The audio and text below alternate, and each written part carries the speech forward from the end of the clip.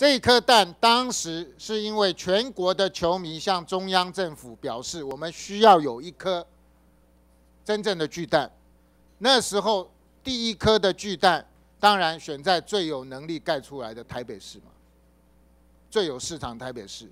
为了这个蛋，国有财产局还把最精华的地，松山烟厂里面的这块地，那本来是国有地，换给台北市政府来办这个事情。那个地目叫做体育园区，上面要盖的房子叫做巨蛋棒球场。如果你今天变成温室，变成生态园区，哎，这个知识体大，照理说是应该可以撤销这原来的换地的这些相关的一个许可。你跟人家征收土地，说要盖学校，结果盖成戏院。可以吗？要解除真正还地，哎，所以这个巨蛋我要跟各位讲，只是盖在台北市的巨蛋，不是台北市自己的巨蛋而已。它承载的是全国的球迷、全国的喜欢运动、需要室内大型场馆的朋友的一个希望。只是盖在台北市，由台北市政府来执行。现在不能由台北市由政治的操作随便。为了拆自己身上的炸弹，把整个蛋给拆掉，或者是改成非棒球以及非体育使用，这个是开玩笑，现在已经丢脸丢到全世界了。第一个经典棒球赛，去年，呃，署长应该记得，当时的 MLB 美国的这个职棒的副总裁。他特别在七月多的时候在讲说，哎，希望你们巨蛋赶快办，啊，赶快盖好，因为二零一七年的经典赛，我们很希望在这么好的场地举办。美国 MLB 讲的，日本的职棒也一直希望我们赶快弄，我们可以在亚洲职棒大赛可以在这边办，所以这些单位不可能不知道它的设计。所以我觉得应该不会有刚刚王小玉委员讲的是根本就不能打棒球。那如果是这样子的话，那当初这个合约设计就有问题了，根本就应该完全的解约啊！如果不是这样子的话，署长、部长，你们要盯这个事情，不要认为这个是台北市自己的事情，这牺牲的是所有我们台湾球迷的希望，还有我们所有台湾能够。办理可以荣耀台湾的所有国际重大活动的一个机会也就没有了，不是台北市自己的事情。我再强调一次，拜托你们两个，啊，你们两位，虽然还有时间，没有多少的时间，也许你们在各个岗位，你们要交代下去，这个要列入移交，你们体育署跟教育部要管定了，不能说这个让台北市自己去处理。好不好？我们署长是常任文官呐，他会继续坚持对体育的推动是好，谢谢署长，拜托你啊！我刚才这样讲够清楚了啊！如果他乱搞，搞成什么温室，搞成什么，要你可能要考虑要收回来了。啊，好，请您下来一下啊！我只讲一点课纲的事情啊。是。那我非常不喜不喜欢过去我们这几年政党轮替三次了。这中间，每次只要有政党轮替，就有克刚在那边动，动的结果就造成动荡，啊，那去年当然是非常严重了哈，前年啊，但是我翻开以前的做法也没有多高明嘛。民国九十五年，杜正胜在微调，呃，那个不叫微调，站纲的时候，他一样啊，立法院立法委员教育委员会叫他来。他说：“哎，我要开一个什么军训会议，请假，啊，然后还表明说绝对不宜啊暂缓，因为啊会影响这个原来的课纲的实施啊。然后他的次长周灿德先生他说，对于立法院要求暂缓实施，他说按难照办。你看这个完全跟现在状况一模一样。”我觉得部长你还你还处理的比较好，你至少还有什么呢？我知道你有你有一个三个条件啊，新旧版本并行，是新旧版本争议考题不列入考试，还有即刻进行相关的检讨。是啊，我觉得你至少，我觉得处理起来是比以前稍微妥当啊。但是今天的这个法律提案，我我我我个人也要稍微做一点表态啊。两个部分，一个课纲版本的问题啊，我认为我赞成啊，由民间的版本也可以进来让大家讨论是啊，因为这个是很好。第二件事情，课审会要怎么组成啊？这个蛮复杂的，但是我认为只要公平、公正、公开，啊，这个是希望大家以后就照这个制度。拜托，我也希望五二零新上任啊的蔡英文政府不要又急着又要大修课纲，拜托好不好？我们课纲除了历史、国文还有什么一堆嘛？我们台湾现在最严重的是我们的学生竞争力不够啊。那显然你的课纲跟我们现在外面需要的力能力是差很多嘛。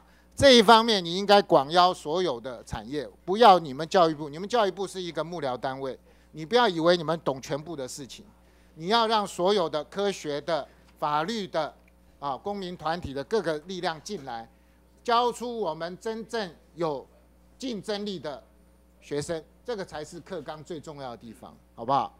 是。一零七课纲总共有四十四本啊，其实我们都非常专业的在研修。是以上。好，谢谢谢谢吴委员，谢谢部长啊。好，接下来请请高金素梅委员咨询。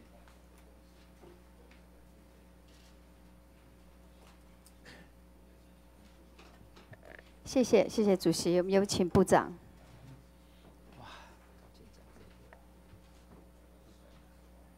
是委员长。部长你好哈，呃，其实呢，我在立法院用无党籍的身份已经连任了五次。是。那么这五次当中，刚刚包括呃吴委员所提到的，从教育部呃从杜正胜教做教育部长到现在换了历次的部长，我就眼睁睁在这边看到非常多的事件的发生。当然这一次的课纲引起这么大的社会的动荡，我觉得真是不值得。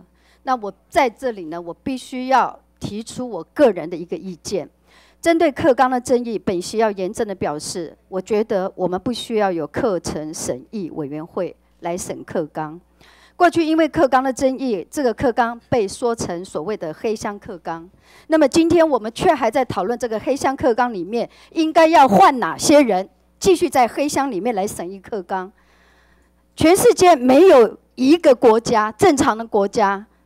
是用政府的力量来去定定课纲，只有法西斯的国家才会用政府的力量来做这个课纲。所以在这边，我要提醒在场的我们所有的委员们，其实我觉得课纲就如刚刚部长所讲的，应该由大家去讨论嘛，不需要由教育部嘛。刚刚科委员的所谓的咨询，然后你说的一段话，其实本席也非常的赞同。教育就回归到教育的本质。至于什么样的东西，其实让社会大众去说，让专家去说。我提几个例子，部长，你认为日本殖民时期应该称为日治还是日剧？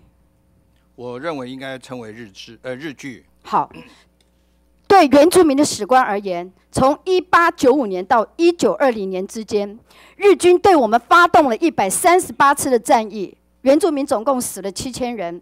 占我们原住民当时的人口的十二分之一，看看这些照片，这些都记载在当时的台湾总督府的日志里面。也就是说，这些杀人凶手的日记里面所记载的，这些都是血迹斑斑的历史文件。看到这些这些照片，当然是用日剧啊，怎么会用日志呢？日剧代表的是用武力占据，这个就是武力。日治代表的是合理自治，所以如果我们说是日治的话，原住民的一百六十六万公顷的土地就永远拿不回来了，因为它是合理治理。那么我们如果也承认所谓的日治的话，那么捍卫土地而被我们日军杀害的七千多个原住民同胞，我们的公道永远也要不回来。所以我很高兴刚刚听到这个部长。您终于可以说那是日剧，不是日志。那我必须要在这里也提醒我们汉族的同胞，其实，在那一段时间，有数十次的日军清乡，杀了我们数十万的汉族同胞。如果用日志的话，那就是合法杀掉喽。我不想，我不相信，我也不晓得我们汉族同胞，你们要不要想要回到，呃，要不要要回这个历史的这个这个所谓的公道？所以我认为，其实百年仇恨，公道不见得是要的回来了。但是我们一定要牢牢的记住这段史实，这个就是史观的重要性嘛，是不是？那我再讲几个故事。那么，针于对于针对课纲的内容，我们应该要做的是自己的历史自己写。我不好意思，麻烦帮我。换一下下面好不好？这就是当时的这个日本总督府。再下一个，我已经跳过了很多了。对，好，我们来看这张照片。本需要建议教育部，我们的今天的课纲应该是要自己的历史自己写。今天就算是由我们的课审会来审查课纲，这些由上而下制定的课纲，是不是会符合所谓的族群或者是在地的需求呢？那么我要提醒大家的是，什么叫做自己的历史自己写？我举一个例子，文化部近来就开办了所谓的青年村落文化行动计划，他们透过这样子的计划，让地方的年轻人能够进行文化传承的工作，而这些工作跟地方的耆老我们一块的结合，教育体系在地方的学校课程里面的乡土教学，其实我们就可以学啦，就可以教啦，然后我们要加重这些的课程嘛。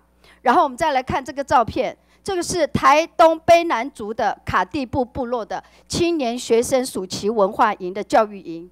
我们再翻下一张，老人带着年轻人一块在大树底下，告诉我们原住民的历史、我们的文化。再下一步，这个也是。再来下一张，这一张呢是台东排湾族大后部落的部落旧址的寻根。我们再看下一张，老人家。透过这样子的寻根，告诉我们原住民，我们的部落是如何的迁移，我们的部落是如何在日据时代、殖民时代的时候把我们迁走，然后在现场把我们的歌、把我们的原住民的族语、文化、历史的，通通由老人家透过在地的学习。暑假是我们原住民部落丰年祭的旺季，那么丰年祭的前后，我们各部落都会到部落里面去办寻根活动。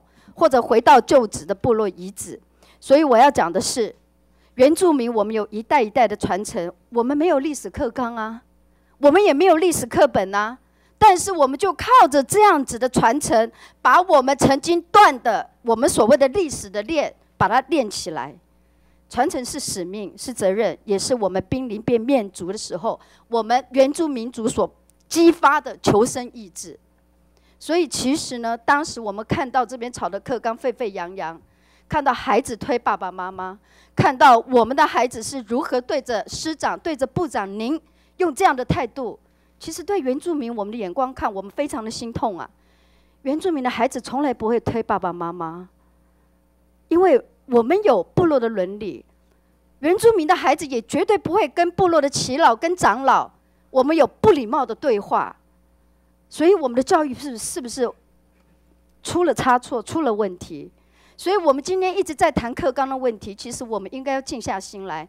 当我们做非常多的错误的示范的时候，其实正是做最最坏的教育示范给我们现在的青年学子。那么基于这样子，其实呢，我今天有几个临临时提案。第一个提案呢是，呃，避免我们课纲争议或者是黑箱的这个情况开始发生。我要请教育部，也就是部长您要离开的这段时间，我们针对历年来课纲的调整的内容，我们必须提出对照表，因为大家好像认为只有部长你任内的时候，我们各纲课纲才有问题，其实历任都有问题呀，历任都有问题呀。本席在这边第五届了，从杜正胜开始就有，为什么没有引起那么大的反弹呢？我们是不是要思考一下，到底是有什么因素？所以，本席在这边要求部长，你要下台之前，还给大家公道，也就是吴委员刚刚讲的，把政治的黑手通通拿掉，以后不准再发生这样的事情。任何一个历史课纲，不是谁执政最大声就可以来解释。那第二个，我的要讲的问题就是今天呃，主席来提到的这个第国民教育法增订第四条之一的部分，我非常的认同。那么在这边呢，我也希望就是当我们这个法还没有通过之前，我也要求教育部部长，你能够行文给我们的各直辖县市政府，如果他目前已经要裁并校的，请他赶快先停止，否则裁裁并校完毕了之后，我们就不能够再恢复了。所以这个也是我的临今天的临时提案。那么再来就是，我不知道。今天我们的所谓微调课纲这个部分，我们今天会不会通过？或者我们都知道现在呃，民进党的委员比较多多，比较席次比较多。如果真的是要把这个课纲委员会把它成立的话，那么我认为也要摆到原住民的部分，我们要请原民会也加进来。要不然的话，原住民在我们的历史史观里面是完全没有。所以本席的建议，其实我衷心的建议是，我们根本不要有这个课纲审议委员会。我刚刚在强调，政府不应该用手来介入我们所谓的课纲，这些东西是法西斯国家才有的。如果台湾中华民国政府还算是一个民主、自由、多元文化的一个国家的话，我认为我们不应该这么做。所以我想呢，在这边也提供这样子的一个思考，让在场的教育委员会的委员，我们好好思考一下，政治的手应该拿走了，我们把教育回归成教育。我想现在不少学术的论调、论文，在网络上这么发达的东西去，或者是任何一个老师他都可以教，或者是。我们有很多的委员刚刚讲掉讲到，我们当时的历史课本课纲是怎么样怎么样，可是现在我们的所谓的思想也没有被一并啊，我们还是多元呐，我们各自都能够选择，我认为是对的啊，所以我觉得这个部分是不是大家不要破这样的例子？中华民国应该回归到真正的国家，而不是每次都有政治的事件发发生。那我认为教育部是最重要的，谢谢。好，谢谢高金委员，谢谢吴部长。好，接下来请蒋乃新委员咨询。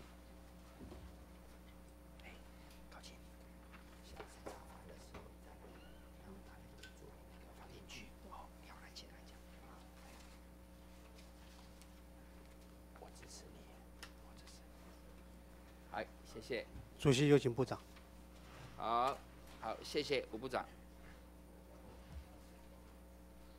委员长，部长，今天可能是你最后一次到立法院委员会是应该是啊，所以大家都很珍惜啊。虽然主席把今天的时间把它缩短了一点啊，可是大家都还是要询答啊。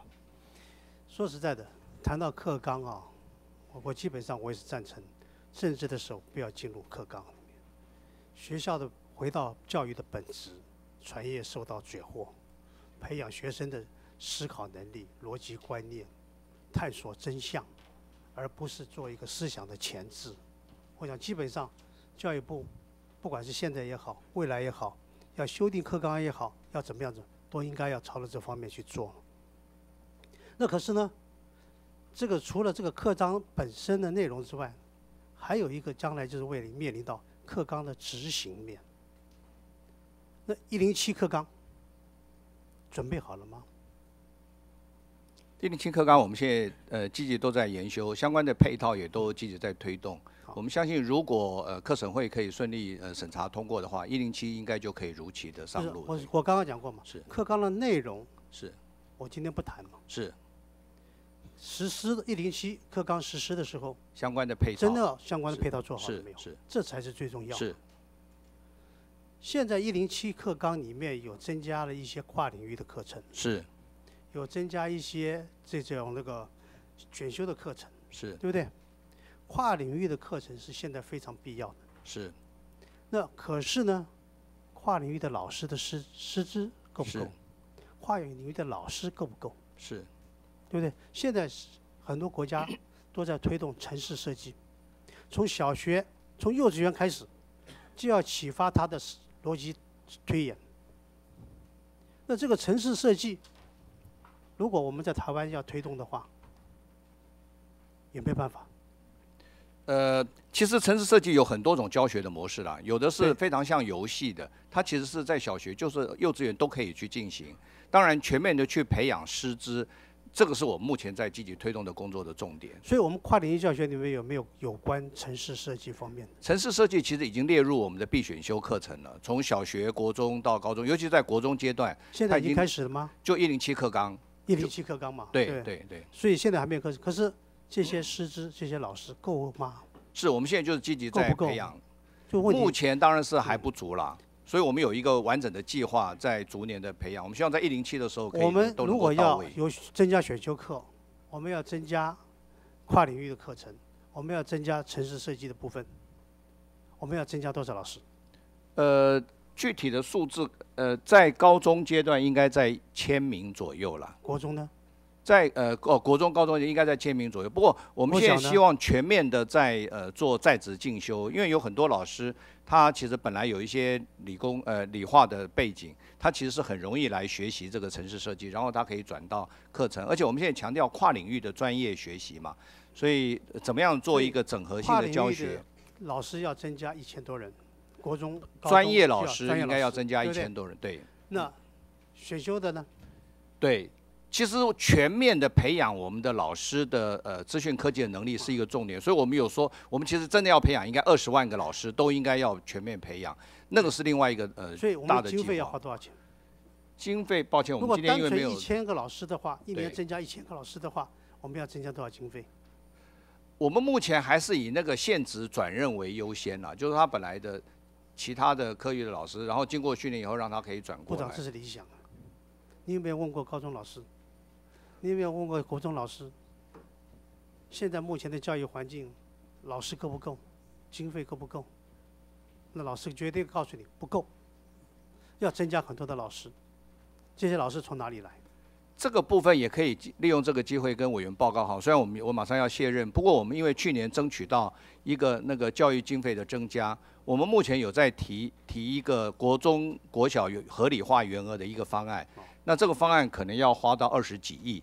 那如果新的部长也可以继续支持的话，那应该就可以把这些员额的问题就可以解决。对，这个一百多亿的经费也是我的提案。是是，谢谢委员当时的支持。来我是要增加一个百分点，一个百分点是。现在后来增加院会0.5是协调以后变成零点五。是。那我们希望这一百多亿来之得之不易啊，是。要珍惜的使用，真正花在教学上面，是，当然。好吧？是。因为以现在来讲，国十二年国教一百零五年的经费多少钱？抱歉，数字我不记得了。三百三十九亿嘛，三百，哎，三百三十九亿哦，你看对是用什么基础算呢？是三百三十九亿。是，那其中高中职免学费占了多少？抱歉，那个今天因为没有带数字来，可能委员比我更清楚。一百六十二亿，一百六十二亿，是一半呢，是一半用在高中职的免学费。是，五年五岁的孩子们免学费呢？有没有算进去？可能四五十啊，对不对？七十一亿，学前教育，五岁的孩子免学费，是扣掉以后，真正用在这个精进课程跟兼任老师的补贴有多少钱？十二年国教是部长，真正用在经济课程和兼任老师的课程的补贴只有一点五亿啊！是一点五亿够吗？绝对不够嘛，是对不对？那如果再加上一百，以现在来讲，只有一一一点五亿就已经不够了。嗯，加上一零七课纲跨领域的选修的，你刚才讲至少要二十亿，事实上二十亿是低估了，绝对不止二十亿啊！钱从哪里来？就是刚才跟委对员报告，就增加的那笔里面，这个将来优先来支持教育部是怎么分配这一百多亿？这是非常重要的。是是可是如果你一百零七年一零七课纲你要如期实施的话，你这个必须要马上来处理，必须要马上解决啊，是对不对？所以现在还有高中跟大学的衔接是。有衔接吗？目前就是考招联动的小组，其实持续都在讨论。那他们在六月底的时候，应该会宣布一个方案，好那来做这个呃高呃一零七课纲以后的这个高中跟大学的考试的衔接。一零七课纲实施以后，所有的高中职跟大学都有衔接吗？呃，理论上应该要做到全部要衔接了，但是我们会要持续努力做这件事情。可能吗是那个应该是一个要努力的方向了，而且应该要做到才对。是，现在有在做吗？现在有在做，我们的呃，其实方案应该在六月下旬就可以提出来了，对。部长，我也问过了一些校长，我也问过的老师，是，都很担心这个事。是我了解衔。不起来，也接不起来啊。高中职跟大学，很多高中职想要跟大学衔接，大学不要这个高中职；很多高中大学想要跟这个高中职衔接，这个大学高中职也不要跟这个大学衔接。想要衔接的不肯衔接，不想要衔接的反而过来了。这个问题怎么处理呢？对不对？可是衔接有没有必要性？衔接是有必要性的。是。我我记得我以前咨询的时候也讲过一次，是。木栅高工是。对不对？跟建教合作，是。将来毕业的时候，你要进入这家工厂公司，保证薪资，保证进去，是。就是专门开一班为这个公司来建教合作，有业师授徒授课授课，学习技术。可是学生要不要？学生不要啊。是后来怎么办？找到北科大，跟他衔接，嗯，爆满，还要还要还要还要还要抽签。所以对于很多的，尤其是技职在技职体系的学校，衔接是非常非常的重要。是是可是事实上来讲，我问过了很多技职体系的人，他们说要跟大学衔接是很非常高难度的。是现在只有几个明星学校跟大学衔接有可能。是一般的都不可能。一般中等的高职，你说要跟大学去衔接，大学都不愿意。可是你讲，建中、北一女、台中一中、高雄一中，你要衔接，大学都接受。为什么？我想呃，就是让这个彼大学都想要这些明星学校的好学生嘛，是对不对？中等的他都不要嘛。我不愿意让这些学生占了我在我学校的名额嘛。所以这个观念不改破的不改变的话，你高中职衔接怎么衔接法呢？你将来怎么推动呢？当然，这个是未来教育部要做的事。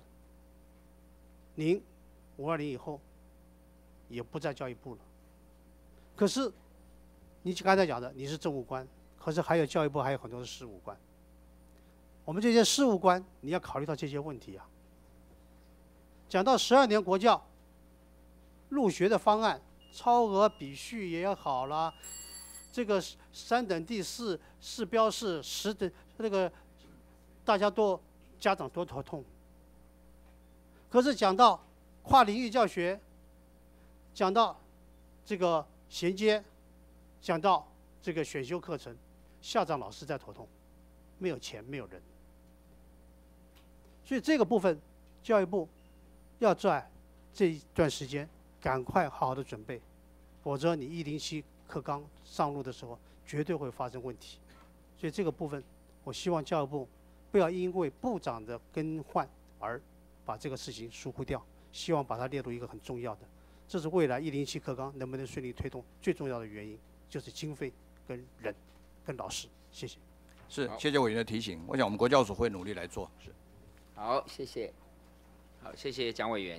好，谢。接下来请何新存委员咨询。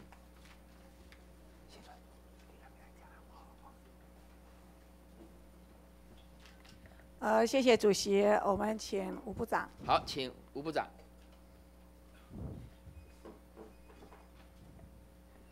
是委员长。呃，部长好，今天是您最后一次来立法院备询哦。是那我刚刚也听了您对教育的坚持跟理念了哈，我也只能说尊重了哦。那也要说一句，当然这一年多来，您在担任教育部长的这个位置上也辛苦了，面对这个课纲微调的争议，这个辛苦呢是一方面，您可能自己内心心有戚戚焉。但是呢，这另外一方面的辛苦是在于，我们反对课纲微调的这些学生们、家长们，他在面对教育部处理课纲争议的这一连串的过程里面，他们也很辛苦，他们也很可怜。而这个争议呢，我想事实摆在眼前。部长呢，虽然你要走了，你要离职了，离开这个位置，但是我相信这个争议会跟着你一辈子。就如同刚刚有其他委员说，维基百科里面这个争议一直跟着你，一直跟着你。那我今天必须讲，刚刚你所阐述的对课纲的理念、对课纲的坚持，我不知道您有没有清楚完整的了解这个课纲微调的争议，在上一任蒋伟宁蒋部长的时代，就是因为他完全违反、完全违反了你刚刚所坚持的对课纲的理念、跟价值、跟立场。所以才会造成这么大的争议。你刚刚说回答其他的委员，你认为政治不应该介入课纲审议，你也认为即使是教育部部长也不应该介入。刚刚你有说是不是？是。那您知不知道这一次引起课纲微调争议的最大的一个症结点跟最大的一个问题在哪里？检核小组的成立史无前例。过去的课纲要审议、要调整，从来没有一个审核小组的存在，检核小组，对不起，检核小组的存存在，而是在蒋伟宁部长的手上，第一次批准了检核小组的这样的一份名单，让他可以介入课纲微调。那您认为蒋伟宁部长有没有介入？我想过去的事情我不了解了哈，因为你现在你可以说你不了解，但事实摆在眼前，发生过的事情，我们可以我们大家你又要说真相调查委员会吗？可以从八十八年调查起，我觉得这样比较好一点。部长，不要避左右而言他啦。没有避左右而言他。我刚刚就问你嘛，蒋伟宁部长他。签准了这个检核小组这个黑机关的存在，您刚刚说的嘛，有没有违反你对课纲的一个基本价值跟立场跟理念？我对我对过去的细节确实是不了解了，我也我也没有所以你现在一言一句话就把这个整个责任都撇开了。原来吴思化部长呢不承认不清楚蒋伟宁部长时代所做的事，可是蒋伟宁。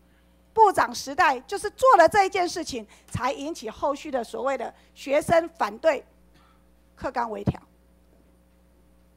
部长，你怎么可以说你不清楚、不知道、不了解呢？但是我也跟委员报告，因为我们从行政观点来看哦，这整个调查整个过程，监察院做过调查，我们必须要尊重监察院的调查的结论，这也是我的我的责任是。尊重监察院的调查没关系，监察院的调查我可受社会公平。当然。可是这一次我刚刚跟你问的问题是，您的对课纲的理念、价值跟立场，你认为即使连教育部部长都不应该介入？是。那我就要问啦，蒋伟宁部长到底算不算介入啊？我。至少在我的任内，我用这样子的原则跟想法做我觉得应该做的事情。部长，你现在即使到现在，你就是不愿回答这个问题。我跟你讲，蒋伟宁部长就是直接伸手介入嘛，所以成立了检核小组嘛，去介入了课纲的一个审议的过程跟调整的过程嘛，才会造成今天这么大的一个争议嘛。你刚刚的理念，你刚刚的价值，你刚刚的立场，就完全就是打脸蒋伟宁嘛。打脸，马英九用政治的黑手深入嘛？那你今天呢？既然要坚持你对克刚的价值立场跟理念，那也应该光明正大的就直接跟马英九、直接跟蒋伟宁部长说 no 嘛？你们错了，你们做错了，才有这一次的争议。你是来收烂摊子的。即使五二零即将到来，你即将卸任，你还是有这么一次今天的机会。可以告诉我们，为了坚持，为了秉持你的理念跟立场，你可以大胆的说出来啊！政治离开课纲的审议过程，我们今天要来谈修法，为什么要谈修法？因为我们就希望，就如同刚刚其他委员所讲的，以后的课纲的审议，以后课纲的调整，不受任何政治力，不受任何政党。不管谁来当总统，不管谁来当教育部部长，都不应该介入课纲的微调整的过程或者审议的过程。这个就是今天修法的最主要，也是符合你刚刚讲的，政治应该离开课纲的审议，所有的包括即使连教育部部长都不应该介入，就如同你说的啊，你坚持的教育的对课纲的这样子的理念跟立场跟价值，不是吗？是啊，谢谢委员对我想法的支持。所以我是建议说，我们是不是应该回归到教育的专业来处理课纲就哎，好，回归不要教育的专让委员回归不要让教育的这个委员专会的组成变成另外一个政治回归。教育的专业，请好好看这个修法的版本，是不是政治介入课纲的审议，而是希望呢，透过外界社会公正人士，甚至学者专家，大家可以多元化的、有正当性的来参与整个课纲。刚刚有其他委员也支持嘛，我们也欢迎民间团体、民间的课班的课纲的草案，甚至课纲的坚持、课纲的理念，通通可以来参与整个审议的过程跟调整的过程。我们希望修法是做到这样子公开、透明跟多元化嘛。包括行政院院长张善政在回答说，对于课纲要不要撤，你记得张院长讲什么吗？尊重。只要立法院决议通过，行政院就会尊重。你认为这里的尊重是什么意思？尊重就是把这个意见带回到课审会做专业的讨论。哇，我们吴思化部长呢，如此的延伸呐、哈，来阐释的行政院院长我张院的一个长的意见，张院。长同意我的想法。对，张院长同意你的想法，可是呢，张院长在立法院回答的跟媒体回答的却不是这个样子。原来吴思化部长可以修正行政院院长的说话，我们没有修正，我只是你延伸阐述嘛。张善政院长说，只要立法院决议通过，行政院就会尊重。以这两句话的来来讲，不知道是我的中文造诣不好，还是怎么样了哈。我们也可以请中文专家学者来阐述一下，只要立法院决议通过，行政院就会尊重，这样是什么一个话语啊？怎么会有吴思化部长可以把张善政院长的话还可以解释说，只要立法院决议通过，行政院就会尊重。院长这里的尊重是说呢，尊重专业回归到课审会来审议。哦，原来这后面这一段话？我我是说化部长院长我跟对于你讲，部长，大院的部长，你这样子的。延伸跟阐释才是争议的起点呐、就是争议的起点嘛，是不是？哎在印度底下李焕仪讲的对媒体讲的公开讲的话，可以在这里被吴思华部长可以阐释扭曲成这个样，子。如果按照你的逻辑，就我没有不任何一用按照我的逻辑，我只是说这一句话。张善政说，只要立法院决议通过，行政院就会尊重。而这个尊重，经过你吴思化部长的阐述，原来绕了一圈，又回到争议的起点，争议的开端。而且呢，立法院在四月二十九号一通过了之后，我们教育部的尊重，原来就是马上发新闻稿来反击。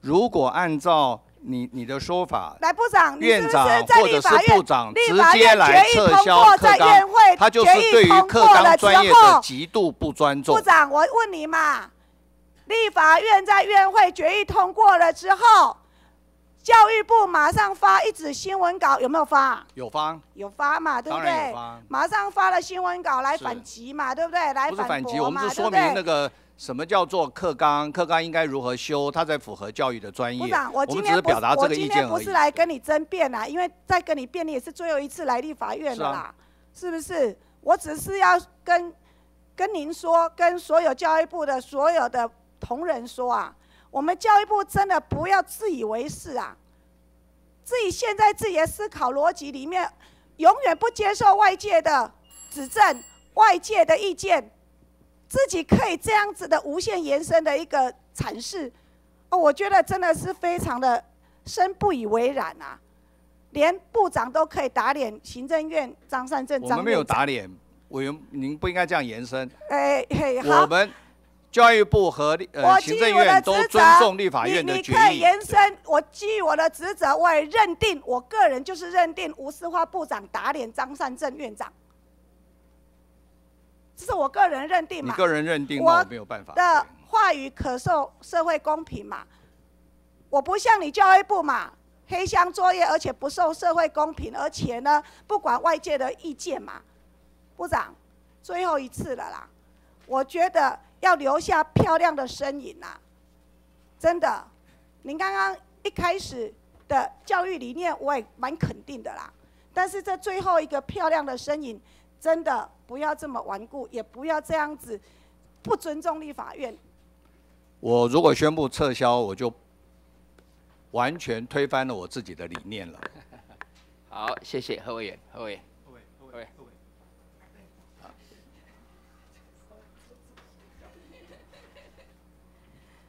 呃，谢谢。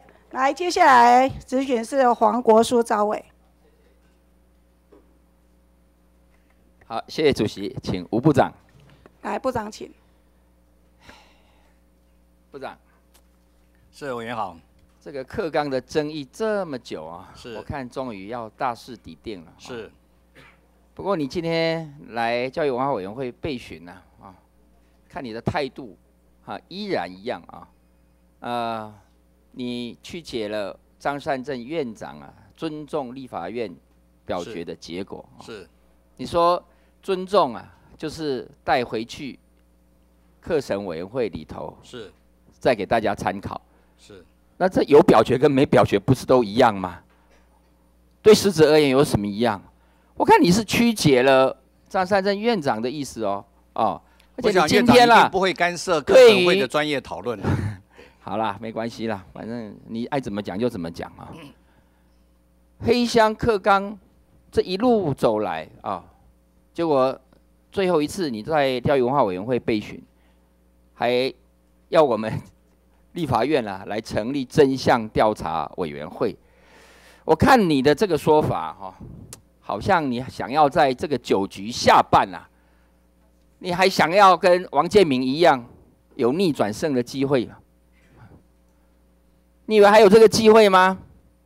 酒局下半了，现在量好球了，你还想要？没有，我想因为委员关心这件事情，我就建议说，那大家把事情可以弄清楚嘛。部长，这个意思而已，对。没机会啊啦，好，不要妄想了啦，啊，不要想跟王建民一样，你没有那个机会了啦，好，好，我们都同意啊，部长，我们两个人的政治立场或许不一样，史观或许不一样啊，但是我们都有共同的责任呢，我们必须在课纲就史观的呈现，要就事实的部分。要能够很具体的呈现，过去其实政府做的很不够啊。我这样问你啊，我们每一年，特别是去年啊，哈，我们中央政府还办了对日抗战胜利的纪念活动，花了好多钱。我就想要问了啊，在你的理解，对日抗战的胜利是大多数台湾人的史观吗？我想问啊，我这样问好了，就你的理解。台湾有没有参加抗日战争？有没有？中华民国有参加抗日战争。中华民国啊，对呀。那台湾有没有？台湾有没有？我的一部分。真好笑！你这样出去给人家讲，真的是被人家笑掉大牙。部长，我给你看一张照片啊。台湾不止没有参加抗日战争，而且还是抗日战争的受害者。我给你看这一张照片。我刚也去找历史照片来看啊，这个是哪里？这是中华民国的总统府吧？部长，是，这个是中华民国的总统府，对，是现在是，现在是。是，这张照片是一九四五年中战前的照片，这张照片是做什么呢？当时啊，叫做台湾总督府，是被。二次世界大战，也就是所谓的中华民国抗日战争时候的盟军啊，轰炸这个中华民国总统府的前身——台湾总督府。这张照片就是一九四五年五月三十一，也就是历史上非常有名的五三一台北大空袭。这张照片告诉我们什么？中华民国政府跟美国政府的盟军打台湾。那你跟我们讲说台湾有参加抗日战争，台湾是中华民国的一部分。那中华民国怎么会来打台湾呢？这个就是历史。我给你看这张照片，这张照片啊，就是当时盟军所发动的太平洋战争啊，攻击台湾，你知道死亡多少人吗？这你的教科书有写吗？我跟你说，这个攻击台湾死亡了五千五百八十二人，其中的日本人呐、日本人哦，你们所说的对日抗争啊，日本人才死亡五百一十八人，不到十分之一哎，十分之九死的都是台湾人哎。好，毁损的民宅啊，总共有四万六千三百一十八栋，这个比九二一地震啊的损害还严重啊。这么重要的历史有进到你们的教科书吗？有吗？我目前在大家一起写教材的部分，其实已经把这些历史的史好实都把它并进去了。好，那是那我再说，这个就史观的不同嘛，我们两个史观不同嘛。是哦，那可是历史的事实就就这个，当时的中华民国政府跟美国的盟军是一起打了台湾，当时的台湾总督府，是当然同时也打了台湾人，这个是事实，你承认吧？是这个对嘛？这这这是事实嘛？是好，可是，在你们的史观里头，却要当时死了五千多人的这些台湾人的前辈，他们的后代子孙，要去纪念你们史观里头的对日抗争的胜利纪念，这合理吗？如果你是这些王者的后代，你要作何感想？要作何感想？所以，部长，我必须要跟你说，台湾就是这样嘛，一路走来嘛，因为政治的原因，所以会对整个台湾土地上发生的历史会有不同的史观的解读嘛。是我们都同意，不要把政治的手伸到教育里头，特别是不要深入史观，是对不对？是。那么我们今天修正高级中等教育法的四十三条，其实就是为了要防止这一个政治黑箱的手伸到教育里头来啊，就是为了防止啊。是部长，你刚刚误解了四十三条里头的一些条文啊。你说这个课纲的审议不应该由立法委员来制定，你你误解了，不是这样了。这个条文是说，过去由教育部长片面决定了这些课程委员，也没有任何人知道他们是谁，审议也没有公开。然后这些审议委员到底怎么产生的，只有部长一个人知道。我们是要把这个黑箱的程序把它给法制化跟透明化。那么我们认为不能够让教育部长一个人有那么大的权利，所以我们把它提升到这一些课审委员由院长来提名，就是我们去组了这些课程委员，这课程委员不是部长一个人能决定的，由行政院长来提名，但是也不是院长提名课程委员就算了，不是的，还是有一个审议的机制去审查这些课审委员。也就是说，这些课审委员的产生是经过一定程度的法治程序，公开透明，所以它产生是由这一些审查委员。但这些审查委员怎么产生呢？由立法院啊来推举产生。立法院推举产生，当然就是按照政党比例的原则来产生，这合理啊，这非常合理啊。委员这一个条文最主要的精神，就是为了预防黑箱。委员今天民进党执政，或许未来啊有跟你一样史观的政党执政，但是我们就是要把这一个课纲审议的制度，把它给法制化、透明化，无关任何政哪一个政党的利益。我们是站在这样的前提上，所以部长，其实你刚刚那个说法是误解了。误解的那个。委员，我想那个未来的委员呃审呃那个呃课审会的委员应该公开讨论，应该更加透明、更加专业。我想这个原则大家都同意。我们现在唯一我只希望提醒委员的是，如果你把这个东西成为是一个政治任命的过程，那个委员会的组成会成为另外一个乱源。我建议你们听了新部长的意见以后，你们再做决定了。我是诚恳的这样讲而已，对。都还没有开始这个法案都还没有开始通过，你就已经认定这个会是政治任命？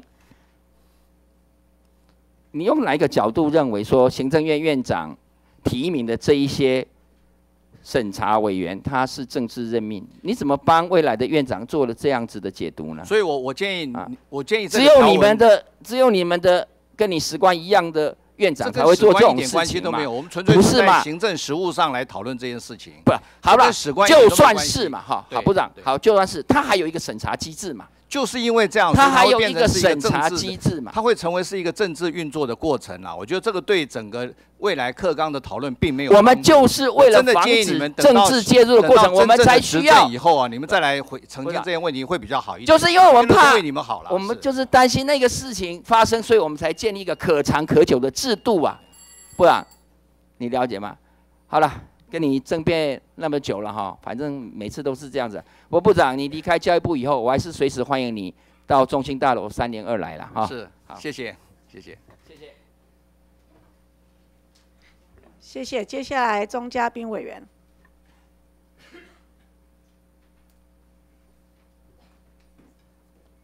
主席、各位与会的委员先进、列席的政府机关首长代表，大家午安。呃，有请我们吴部长，还有国教院的柯院长。柯院长在吗？不在，那是哪位代表？洪主任。好，洪主任好，那刚好也跟你有关。部长，那是不是可以用法制处的李处长也一并来？因为待会有些问题可能法部长要跟你请教，我一边帮你先请上来好了。部长，是委员请教一下，您记得你的结婚纪念日吗？哦，我记得这点哈，你不用告诉大家了哈，记得就好。那你记得你什么时候接任教育部长的吗？呃，我记得呃，您们告诉大家一下。呃，一百零三年八月六号，一百零三年八月六号，好。那在你就任之后，柯院长是不是已经在当国教院院长了？是是的嘛哈嗯。请问一下，柯院长是什么时候就接任国教院院长的？我我不知道哎，知不知道？洪主任知不知道？洪主任知不知道？一百零二年的四月一号，对，是在部长来之前。好，那我接下来呢，我们来谈一下哈，这个课纲的严格哈，帮在场的人做个复习跟整理啊。就是在早期，我们的委员就提到了嘛，我们都是念那个国立编译馆的长大的。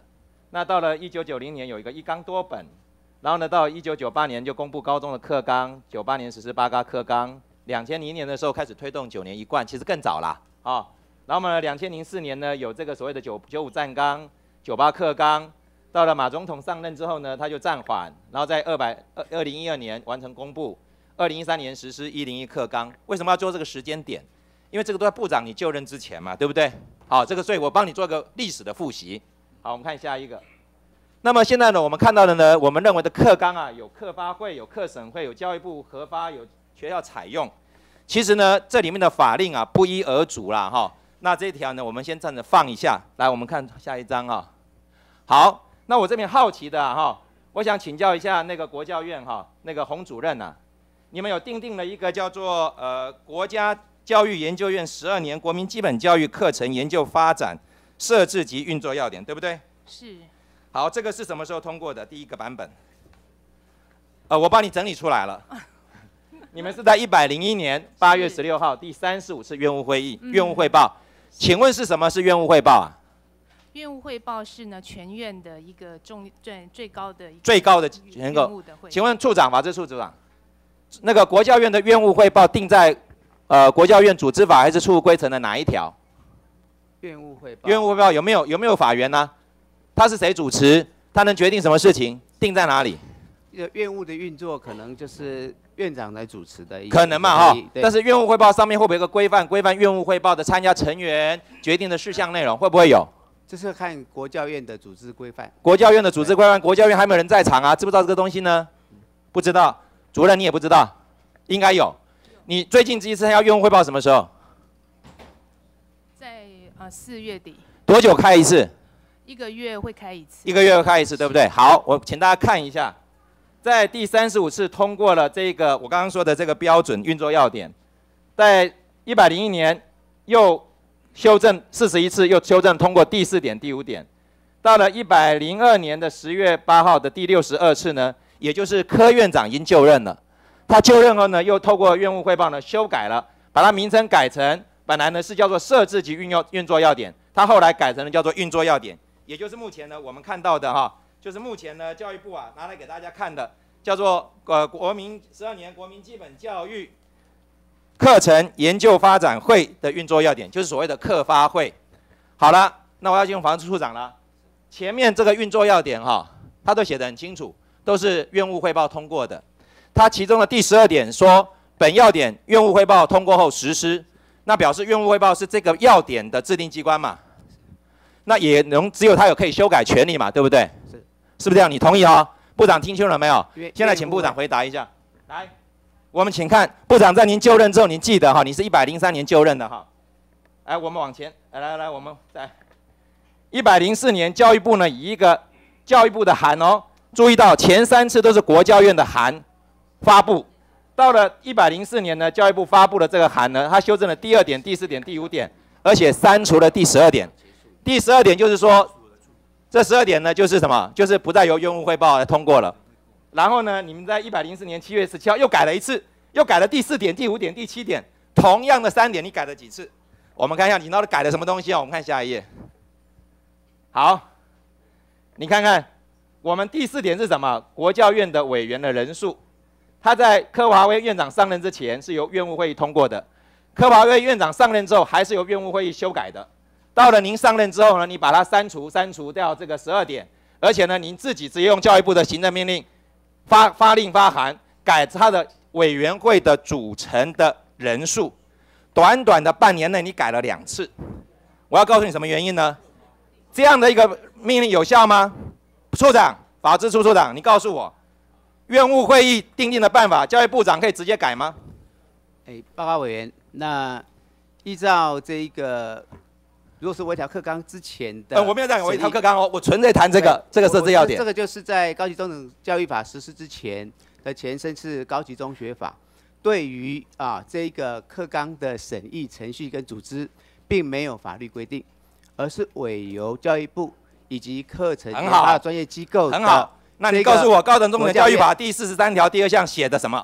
那是课程审议委员会，对。跟课程发展委员会是不同层次的委员会。好，那课程发展委员会是定在哪里？课程发展委员会刚跟委员报告，就是是定在哪里？专责的课程研发机构，就是国教院，依照啊依照中央组织机关。中央机关组织机构来我告诉你条文啦八条来了跟它的组织法，国中小的部分很明显的规定在《国民教育法》当中，《国民教育法》第八条啊，国民小学及国民中学的课程纲要是由教育部常设的课程研究发展机构定之，这个就是国发院，呃，就国教院。对。所以国教院根据《国民教育法》第八条取得了国中小的课纲的研发跟制定权利，但是国发院根据这第八条的授权，他就定定了这个要点，开始研发课纲。但是呢，一直到了那我们的吴部长之后呢，这个课纲之后啊，要交给一个课审会审定。这个课审会是什么成立的呢？来，有没有人知道课审会什么时候成立的？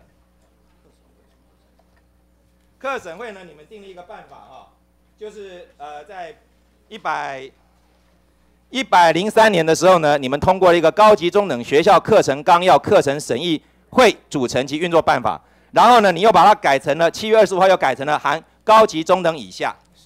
其实啊，不用写高级中等以下，因为本来国中小的课纲就是给国院国教院的，你们改这个呢，就是要把本来国教院制定的课纲交给本来只审高级中等学校课纲的那个课审会。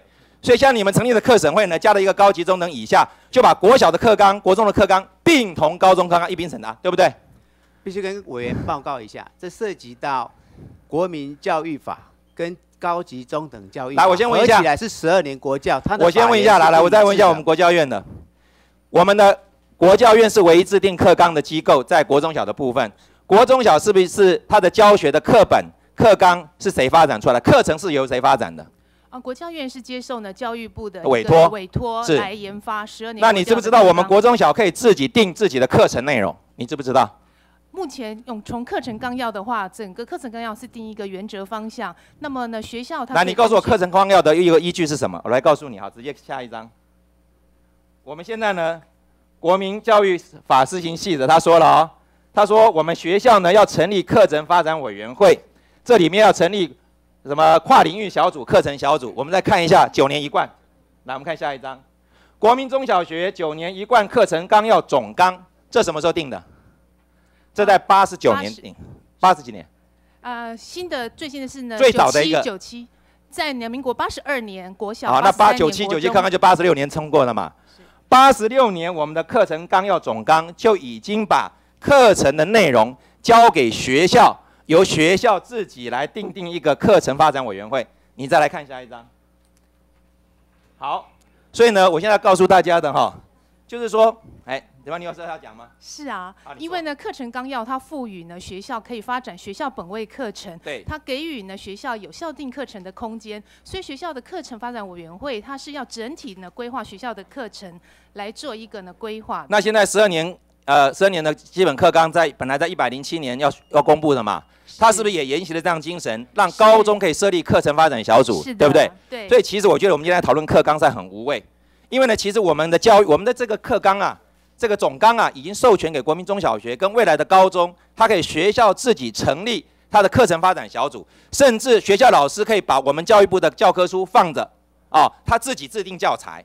那但是呢，这个教材的内容还是必须根据课纲。但是课纲的过程当中呢，我今天要请部长啊，今天部长我觉得呢，您您去秋波啊，您对法条呢，我觉得待会我做了临时提案，您就必须要小心应对了哈。因为从您刚刚的发言过程当中，我觉得您都谈未来怎么样。但是本席今天关心的过去怎么样？从我整理出来的条文严格当中，我觉得我要请法制部你们回去好好研究一下。你们将一个本来由国发国教院可以审议的制定的课纲，拿到了你们教育部，你们去把它废止它的设置要点，改了它的设置要点，伸手伸到进去，伸到国教院的，这就是教育部部长在您就任之后做的事情。没有啊，课纲委员会一直都在教育部啊。不是，我说它的设置要点哈，本来是会院务会议、会议汇报通过的，结果呢，在你手上呢，就变成由教育部手伸进去改了它的条文，扩充了它的委员，这是您部长发布的一个命令当中。我想这个事情我可以请法制处再跟您说明。其实我们课程书面说明，书面说明了哈。我想呢，这个部分呢，书面说明之后大家可以理解。我今天不是来争议未来，我在强调过去。在你们的课程发展的过程当中，你们设置的这些组织，其实呢有些是不必要的。我再重述一遍，我们国中小的课纲，它本来在国民教育法跟国民教育施行细则当中，根本就不需要由课呃国教院以外的机构来审议。现在你们设置了两个机构，一个来定课纲，一个来审议。这个其实呢，又把你们的审议内容本来只是审高中以下，高中又改成高中以下。把国中小的一并并进来，我觉得你请你们法制好好研究一下，这点呢我会继续的追查，谢谢。好，好，谢谢钟委员，好，谢谢部长，好，接下来请陈学胜委员嘉宾咨询，好，谢谢。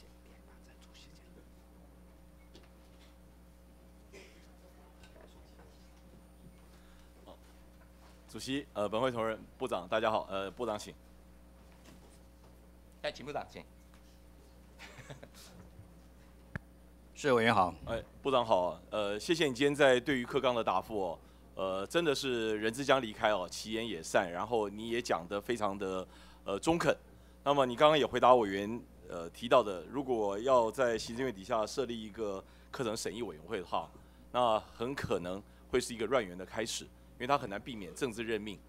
我觉得部长你讲的话，呃，我完全都赞成，也都完全认同。比如说以公事来讲。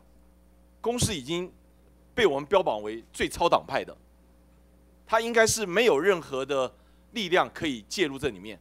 可是公司的董事难产了多久？部长，这个我们都历历在目。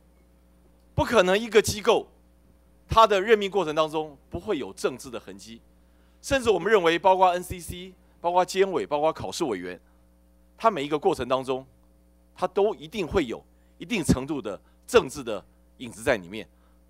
我们不能怕有政治的影子，主要是看你怎么去折中协调，找出一个最好的方案。所以你有回答委员讲说，如果要谈课纲，要回到八八年，这我都完全赞成你，因为这是一个历史脉络，你也只是其中的一个部长而已。但如果你要把过去历史全部切断，要重新开始，你可能是自失欲分，你可能没有一个好的结束，但是一个新的乱源的开始。如果今天民进党对于课纲的审查真的对自己有充分的信心，就不要去提四月二十九号那天的表决。今天有委员来问部长，说那一天立法院都已经通过决议了，张善政院长都说要尊重了，部长你怎么还这样回答？部长，还原四月二十九号那一天的表决现场。那一天在立法院，是因为我们的苏家全院长把这个撤回课纲微调这个法案放在立法院，让他冻结一个月，连协商都不协商，然后直接进行表决。这是国民党变成在野党以后第一次攻占主席台。部长，你要把这些历史场景都要放在心里面，你就要告诉大家，说如果课纲的调整没有任何政治的纷争，就不可能会四月二十九号产生国民党霸占主席台的情况，因为整个过程当中少了一个协商。如果没有协商，今天民进党站在立法院的多数，我相信国民党也不会去挡他。你通过委员会。通过立院大院的审查，你就去成立好了。但成立之后，就像您刚刚所提到的，下任的部长会是一个苦果的开始。我可以请教一下部长，这个机构如果成立之后，它未来应该是多数决，是相对多数，还是绝对多数，还是过半的多数？它会产生很多的疑义。同样的，如果在表决过程当中，原住民永远是少数。但是原住民可能才是真正事实的真相。你能够用表决的方法，然后就把少数人他的意见就认为不符合史观，就把它删掉。连大法官的所有的决议都要把反对意见都要去做陈述。美国如此，台湾如此，为什么？也许今天的少数意见可能是未来正确的主流意见。所以这个委员会的成立，我真的很担心。因为里面只要行政院长任命就可以，然后你要从学者组成，这学者的史观是什么？我真的很担心，部长，你真的一言成谶，真的，未来的部长一上任之后，就面临的第一个苦果，他不知道如何运作。部长，你同意我的说法吗？呃，谢谢委员的意见哈。其实我们呃，纯粹完全是从教育的立场来看这件事情。我们说，如果大家愿意把这个课纲回归到学术的讨论，就好像我们现在在讨论历史课纲，是一群历史专家的老师跟专家学者在讨论，没有任何的争议，形成的结论大家也可以来接受，它不是一个很好的一个过程吗？如果这个委员变成是要立法委员推荐。然后同意，然后由行政院长来任命。我说那就会成为另外一个政治运作的过程，反而会让这个课纲在教育专业的坚持上受到非常大的损伤。这是我希望能够表达的。虽然我即将要离开，是是，包括连所谓的家长会团体都还有不同的团体，也有人认为说有些家长会团体是万年的团体，到时候你代表性的选择部长，都会是下一任部长一个很大的苦果。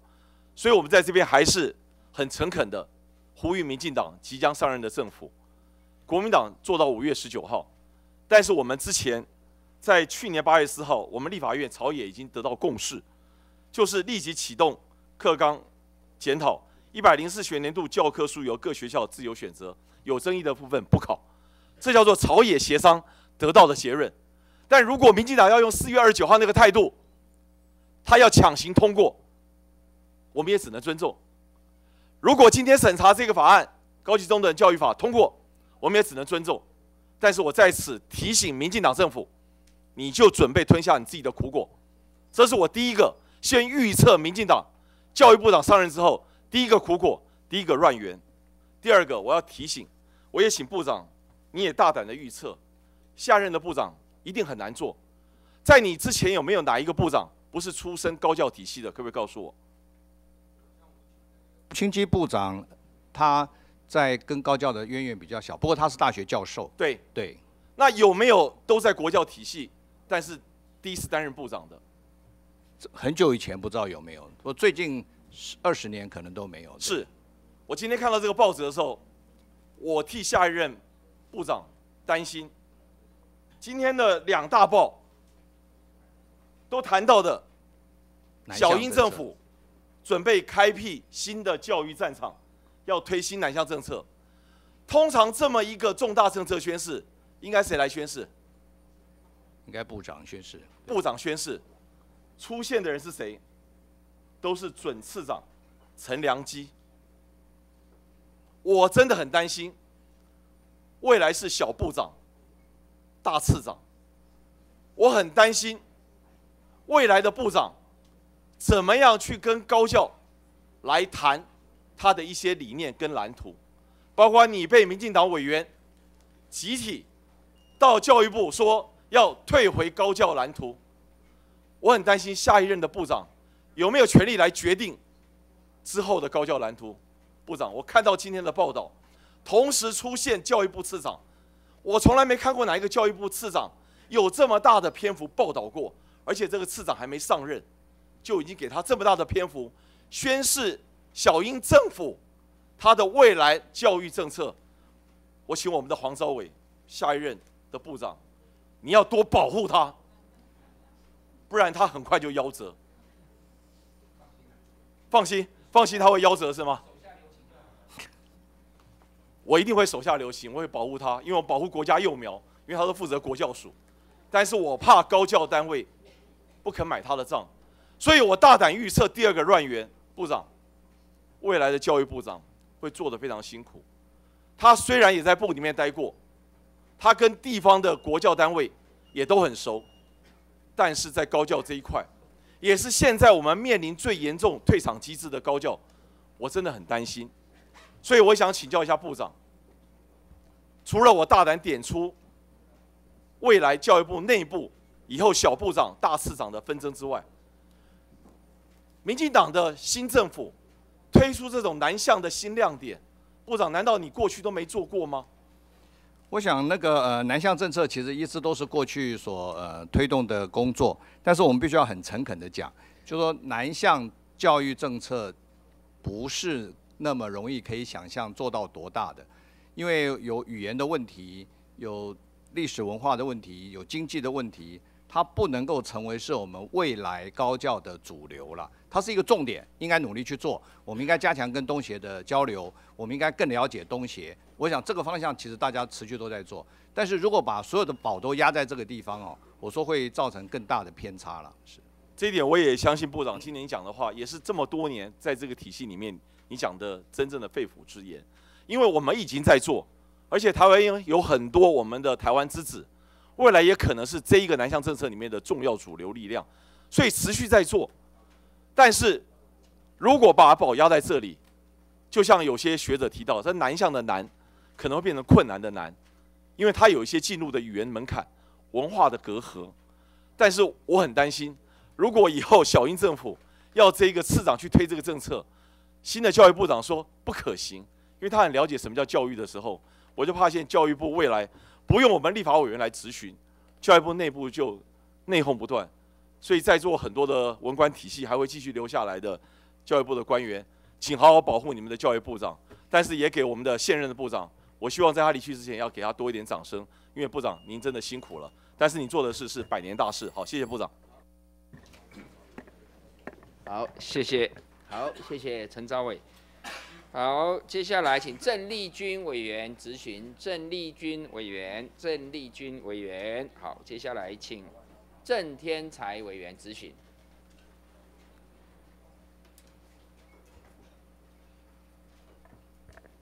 呃，主席，各位委员，啊，有请部长。好，请吴部长。这委员好。呃，部长辛苦了。谢谢。这个今天有有关国民教育法增订第四条之一的条文，是呃，也就是针对呃裁并校是的一个条文。在这个条文增订这个条文里面呢，最后一项有特别提到偏乡与原住民重点学校之合并或裁撤，另依相关法规办理。是。在你们的书面报告的资料里面呢，呃，你们的建议的条文呢是为什么没有把这个最后一项我刚念的这个最后一项列进去？你们的一个建议条本来就本来就是这样子做了，所以没有再增列。好，这个说本来就这样做。署长要不要帮我们那个原住民族地区啊，我们有规定，就是要经过这个当地居民的。是啊，如果国民交易法也列了会不会更好？可以啊，可以。啊所以因为你们我看了之后，这个是不是会考量到这个你们是不是有另外的考量，这这会产生这个疑虑哈。是这个署长你也很清楚哈，在过去台东县和平国小，还有博爱国小，啊，都在成功镇了。他没有依原住民族教育法啊第八条的一个规定，啊，这个这个你知道吧？这个原住民族教育法是怎么规定？有关有关裁并校的部分。他就是要有当地居民这个二分之以上的同意对。这个原住民族教育法第八条规定了，各级政府得是需要哈，宽列原住民重点学校严额编制，宜征得涉及该学区年满二十岁居民之多数同意，得合并设立学校或实施合并教学。也就是说，要有原住民族的这些地区的这些啊该该学区的啊年满二十岁的居民的多数同意，啊就是要过二分之一吧哈。所以这个部分，如果我们去对照这个现在提的增增订的条文，而且这个增订的条文是针对裁并校特别增订的，啊，就会变成这个，然后你们在万一啊，因为你们的建议，然后就这样通过，哦，把那个原偏乡原住民的部分，哦，应该本来有另外的法规来办的时候，当然你们会认为，当然呢，当然是这样，但是国民教育法毕竟是一个，哈、这个最普通的一个法律啊，所以这个部分哈、你们还是再考量一下。我我是希望这个委员会讨论的时候，啊，这个这条这一项哈、这个我们赵委所提的这一项啊，能够啊维持哈、好，另外就是说，如果我们以部长，如果我们以台东县啊是和平国小成功镇和平国爱国小国小是啊这个案子来来看的话，是它明显是违反了《原住民族教育法》第八条，因为它没有经过这个程序哈。这个所以呃部长，因为你很忙了，是啊，事实上这个在上一届啊，啊去年的时候啊，哦在这边都有跟你讨论过哈。是是。然后也也曾经呃这个我有我的正式的私函也给你部长哈。是。所以这个部分后来还是没有很好的一个结果，他还是啊变成分校了。哦。哦，变成分校，他就不就是就是其实就是裁并校了。嗯。好、所以这个部分我们怎么样以这个案例，啊来去考量？所以我们还是要法的修正呢，啊还是要特别特别留意哈、部长，这个剩下没几天了哈，当然你在这样的一个这段时间在教育部，你觉你觉得对原住民族的教育，你认为有完成怎么样的重大的一个成果，或者是说你有什么样的期许？呃，我想在这两年，因为实验教育法通过以后，那么原住民的呃学校开始走向实验学校，我觉得这是一个很好的一个开始。那我刚好礼拜一也到屏东看了三个原住民的学校，他们其实都已经有很好的条件。那这两个学校如果可以开始转变成为是一个实验学校，用原住民的文化来作为教材，来教他们教原住民的孩子，同时在平北的这个小清华的专班，其实我觉得这样子的一个系统值得我们继续去推广了。我觉得那个对原住民会有很大的帮助。这个可以继续努力了哈。是是。那很重要的哈，很重要的，沿汉的教育落差，哈，原住民族跟非原住民族教育程度的落差非常的大。是。啊，所以我上次在啊，在今年的四月，啊，特别啊，在呃三月七号做了一个提案。是。那因为呃教育经费编列与管理法第三条规定已经修正了嘛，啊，会增加这个相关的这些经费。我特别提案，而且在呃后来的一个咨询啊，也特别啊这个请部长能够务必要求同仁，在筹编一百零六年度的预算的时候，请问一下有有没有往这方向？有，我想我们现在在筹编一百零六年的时候，又把所有的跟原住民的预算单独都把它列示出来。那我们希望能够更精准的来回应原住民教育的需要了。我想这次在筹编的时候，我们会特别落实这件事情。对，应该差不多筹编完了吧？还是还在进行中？现在盖编，对。但是我们所有的呃原住民教育的部分都已经整理出来了，是。要特别请部长是，把的把这个原住民教育经费的增加是哈，因为他有很多，我上次在提案里面都有列了哈。是是，请移交给新的部长。是，我们会呃做完计划会由新部长来核定了。哦，你要特别移交了。是，我们会特别跟新部长来提醒。是。好好，谢谢。好，谢谢郑委员。接下来请，接下来请钟孔少委员咨询。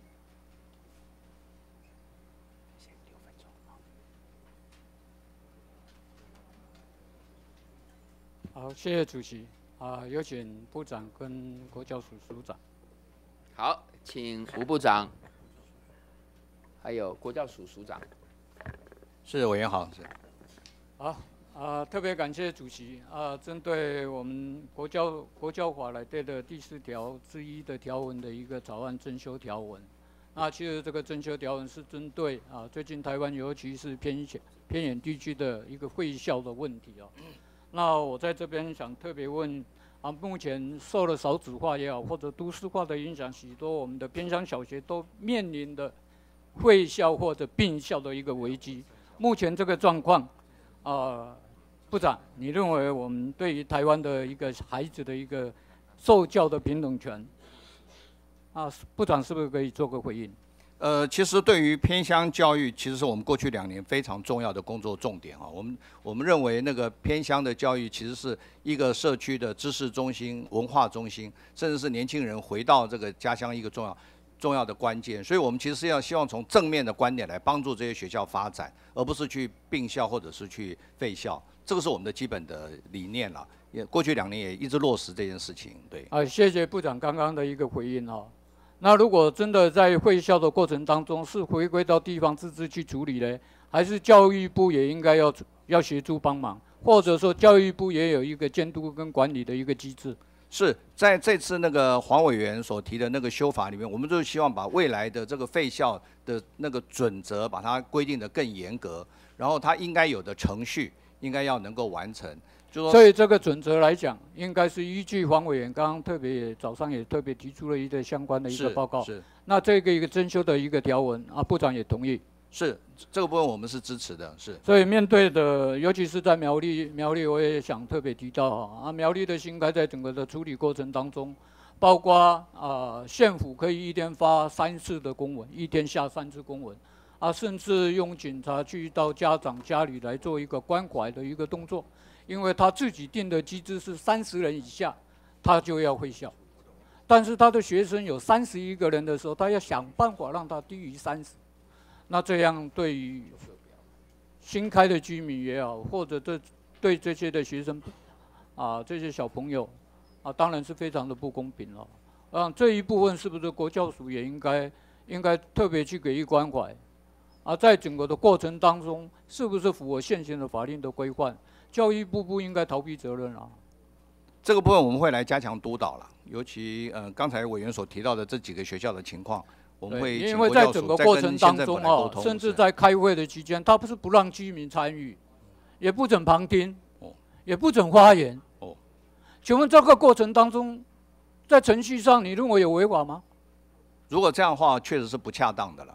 啊，确确实是说，那是不是国教署要去做做跟县府请国教署做去做纠正了解？是。那这样对于这些的新开的居民，重起立威搞会销，也要让我去去高鬼堂也这样套啊！你连我讲话的机会都讲话啊，遵循啊都不行，甚至不能旁听，也不能练习，甚至不能作为委员里面的成员之一。是。那过程整个整个过程来的，是不是在？让人家认为县府就自己在一项作业，是，那你反而引起更大的一个争议啊。是，所以我在这边特别针对这一这一部分，特别请教育部还有国教署，啊，应该去特别注意关怀，啊，也特别要感谢啊，我们主席国书啊，特别提把这个征修的一个条文，让学校的专学校或者社区的学者、专专家或者家长代表啊，都能够共同来参与，对未未来会校的过程整或者整编的当中，让大家有一个共同参与感。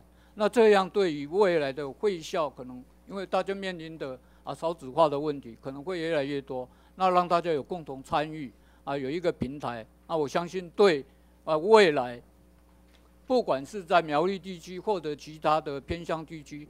啊，发生这种问题的时候，让大家有共同参与，啊，共同来了解，或者在整个过程当中，啊，能够让推动的过程也也能够平顺一些，避免无谓的抗议啊。那部长同不同意？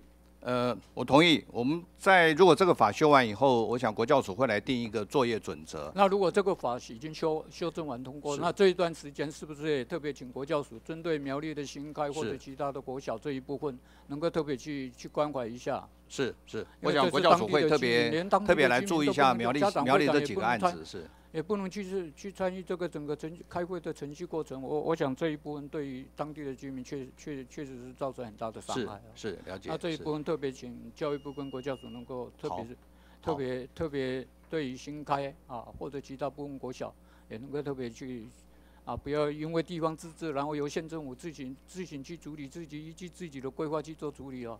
我想这这是对。这些的受教的小朋友是非常不公平哦。是，我们会特别考虑到学生的受教权呐。我想这是教育上的核心的。有，尤其我，尤其我要特别提到，新开如果会校，他要距离最近的学校四公里耶。哦，四公里。哦。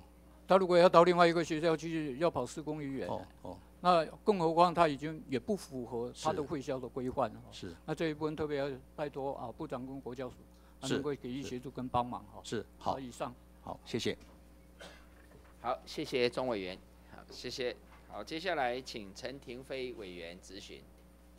谢。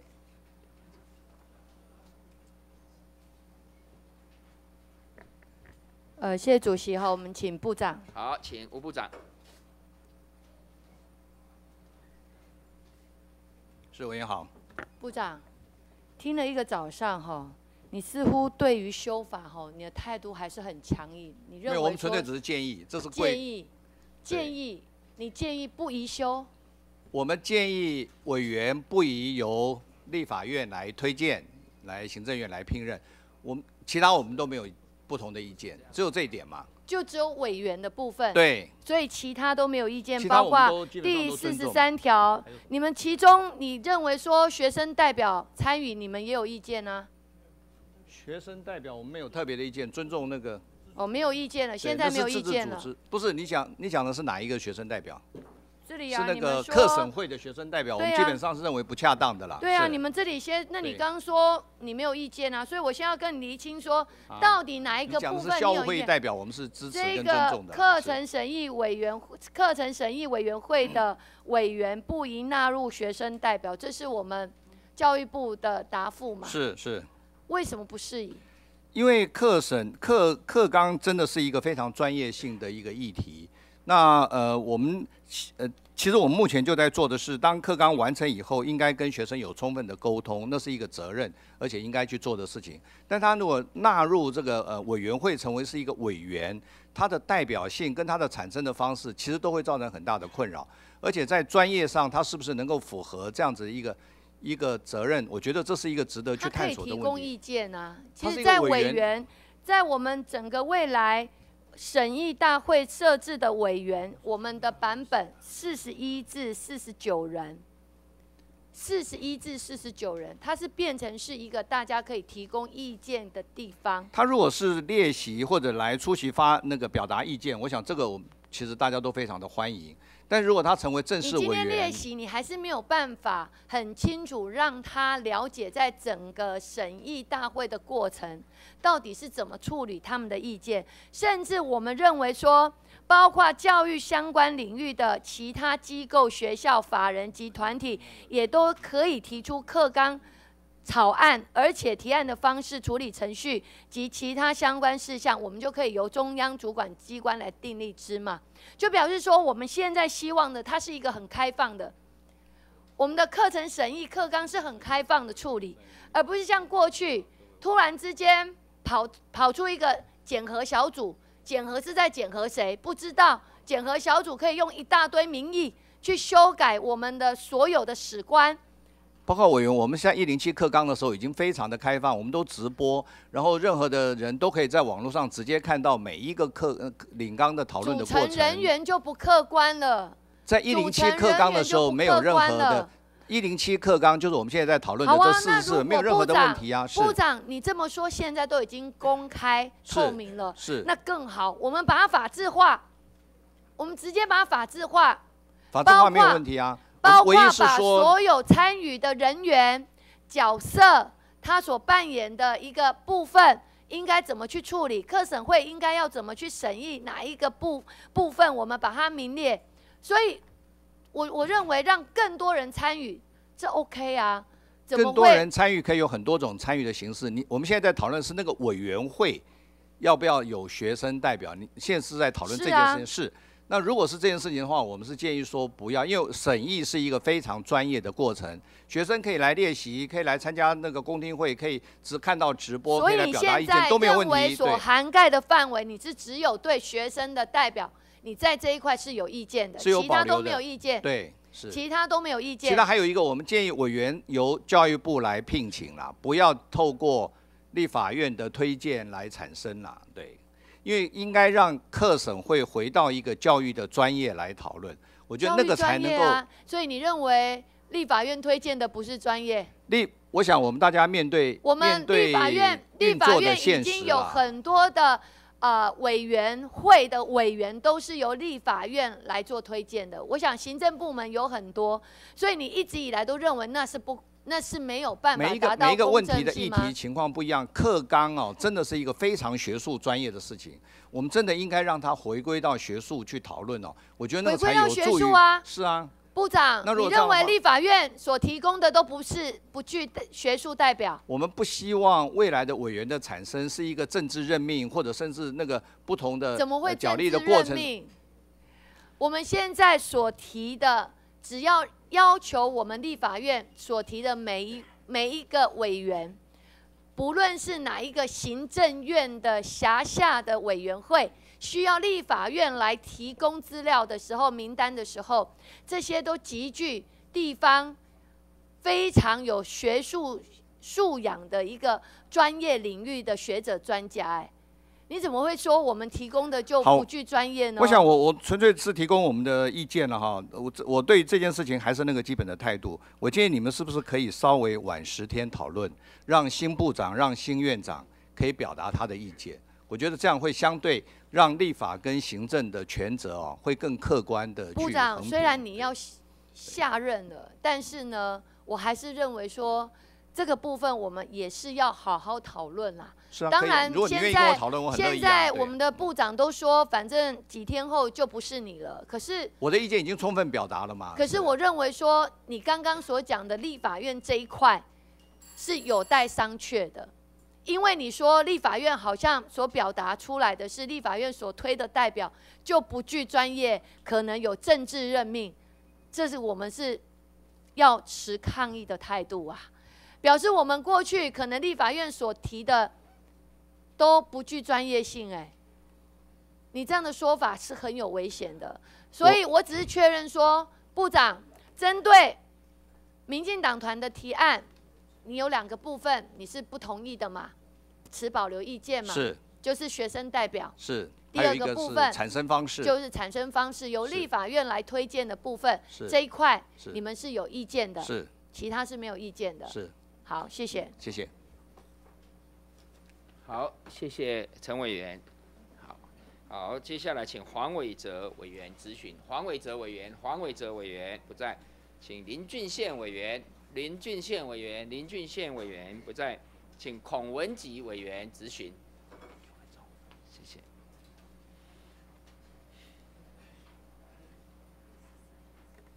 好，谢谢主席啊。呃，可不可以请呃我们吴思华部长？好，请吴部长。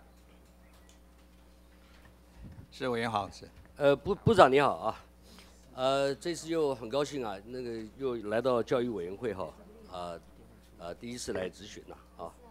那针对这一次的这个议题啊，呃，我想请教一下部长的看法，就是我们这次有几个修法，修是法这主要是针对课程嘛，课纲啊，它的这个什么呃审议的这个规定哈，是。呃我们呃委员有提出一些看法啊，就是特别是针对我们课程纲要的呃这个可以有民间团体提出有关课程纲要的草案，而且适用高级中等教育法的相关规定，这个跟我们现在的法案有什么差别吗？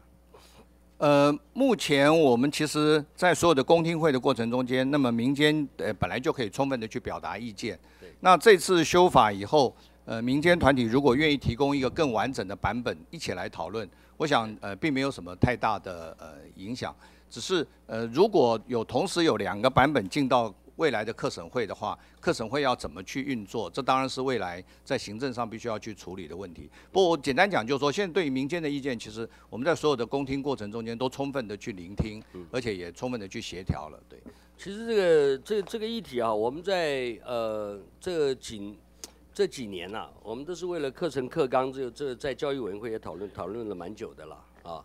那现在五二零也都快到了嘛，是。那那个现在就是我们谈这个，我们是希望说能够啊，我们就看那个新的政府啊，这个将来之后针对这个议题有什么一个方向啊，我们都尊重啊，都尊重，但是我们还是要照这个程序啊，这个程序来走了啊。那我另外就是说，特别今天有有谈到一些什么财并校的问题吧？是。那个财并校是怎么样？是在我们这个法案里面？在国民中小学法的修法，好是未来的财并校要有由中央来定定准则，能够让他这个裁并校的程序更严、更完备、更严谨。我想这个是这次修法这个部分，基本上我们呃部里是同意而且也支持，是。但是本席是在这边要特别的请我们教育部哈，针对我们沿乡地区的裁并校是啊，现行的法令呢就就已经有有规定了啊，有规定就是说我们沿乡它有它的设置基准，它不可能没有办法啊，这个要并校或裁校没办法跟我们一般的呃非沿民地区这样子来来来统一的规范呐、那之前我我也在这边也特别提到。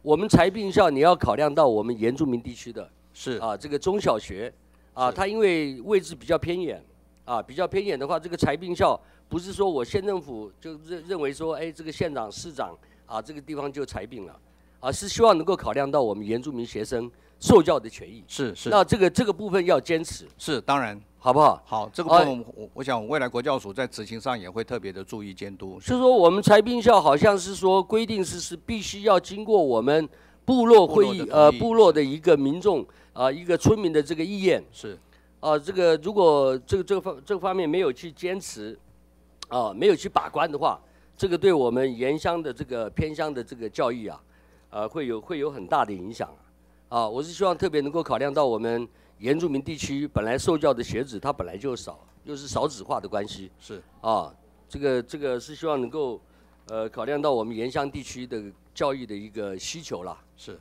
好不好？是啊，这个部分我们会特别留意，我们国教署以后也会持续来注重视这件事情。是。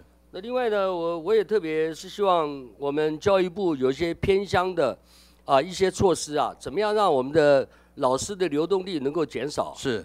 他的这个三地加几的福利能够继续维持。是。啊，他的待遇能够继续维持。是。啊，这个是希望说我们教育部啊，能够能够落实啊，我们在教育委员会在上一届的时候，我们把原住民地区的教育的经费哈啊，从百分之一点二提升到百分之一点九了嘛，是，对不对？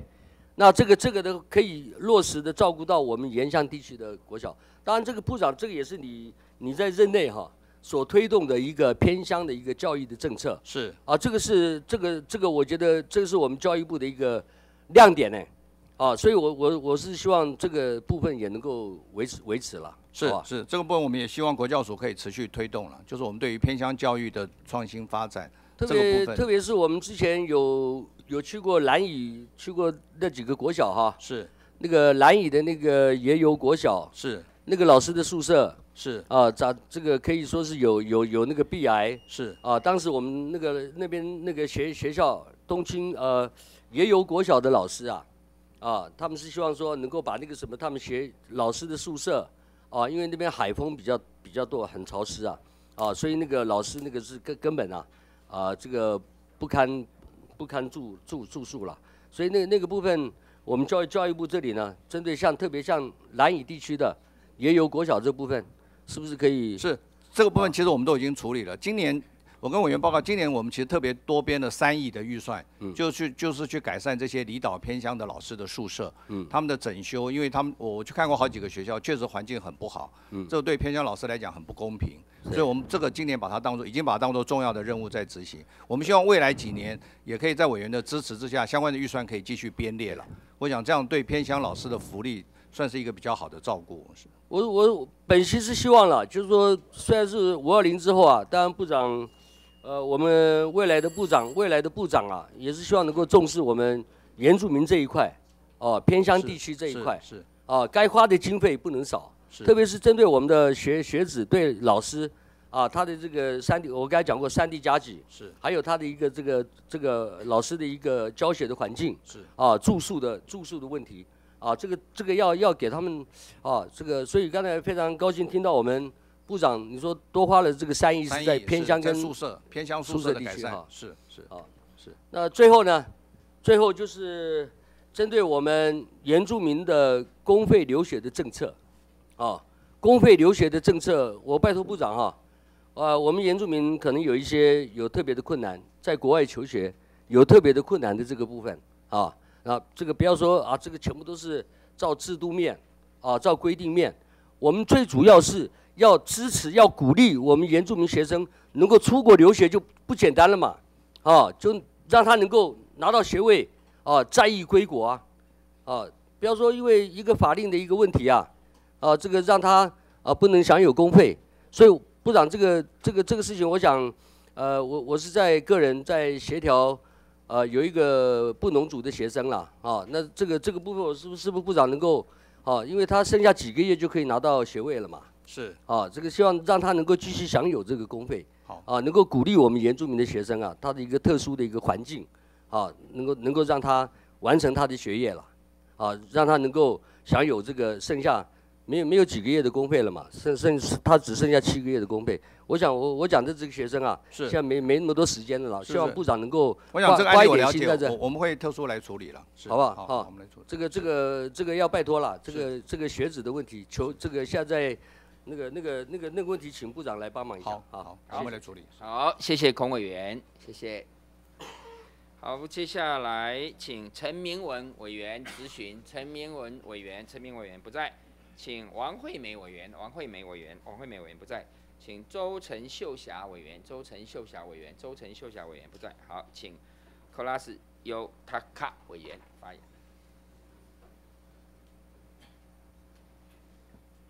主席有请部长。好，请吴部长。